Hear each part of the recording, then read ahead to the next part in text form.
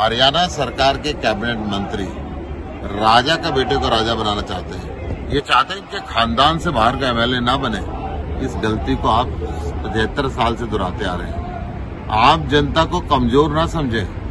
आप जनता के विधायक बनने का नंबर आ गया है। आम जनता के सांसद बनने का नंबर आ गया है। और आम आदमी पार्टी आम जनता की ताकत को समझती है। आपको भी आम जनता की ताकत समझनी पड़ेगी ताकि हिंदुस्तान का लोकतंत्र सही माने में मज़बूत हो सके।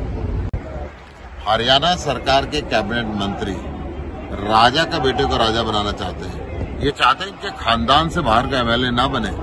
इस गलती को आप पचहत्तर साल से दोहराते आ रहे हैं। आप जनता को कमज़ोर ना समझे। आप जनता के विधायक बनने का नंबर आ गया है। आम जनता के सांसद बनने का नंबर आ गया है। और आम आदमी पार्टी आम जनता की ताकत को समझती है। आपको भी आम जनता की ताकत समझनी पड़ेगी ताकि हिंदुस्तान का लोकतंत्र सही माने में मज़बूत हो सके।